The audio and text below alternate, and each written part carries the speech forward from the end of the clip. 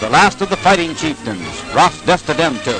Here he's visiting Washington when Haile Selassie was king of kings. Recently, Mussolini ordered him to surrender. His answer was the bombing of the Italian viceroy and an advance toward Addis Ababa. An Italian column went after him, capture and execution.